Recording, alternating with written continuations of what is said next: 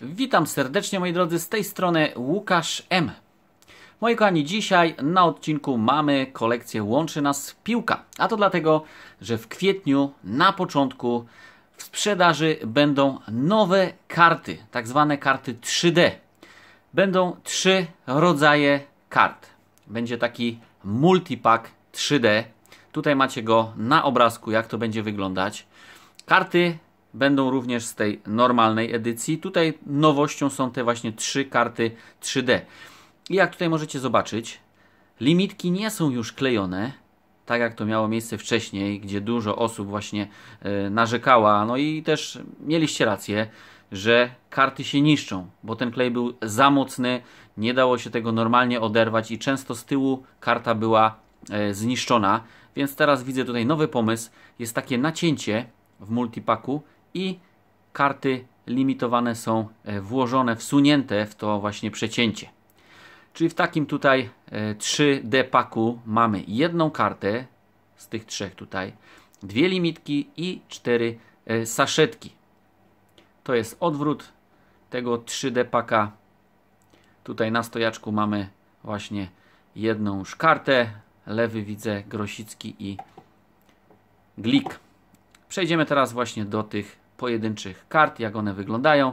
Czyli na jednej mamy piątka, Szczęsnego i Krychę. Powiem Wam, bardzo fajnie to wygląda, bo pokażę Wam też krótkie filmiki, jakie Pan Artur mi nagrał. Tutaj mamy Grosika, Lewego Iglika. I trzeci rodzaj karty Zieliński, Fabiański i Bednarek. Ok, moi kochani, lecimy z pierwszą, z pierwszym filmem. Tu mamy zaprezentowanego tego 3D paka, jak on będzie wyglądał.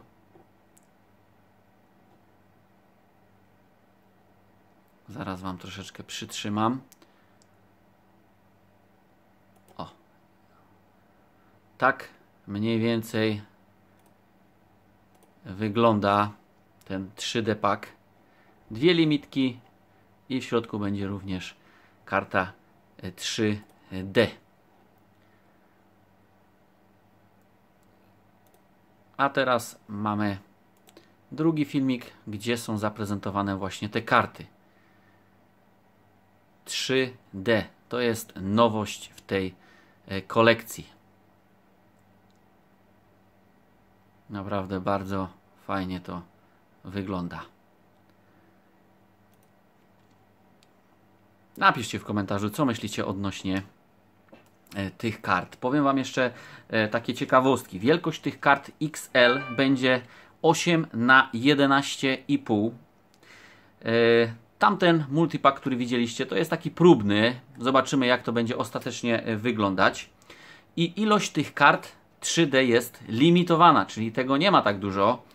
Dlatego, moi kochani, jeżeli ktoś z Was zbiera i chce tą kolekcję mieć kompletną, no to po wejściu do sprzedaży na początku e, kwietnia szukajcie i kupujcie.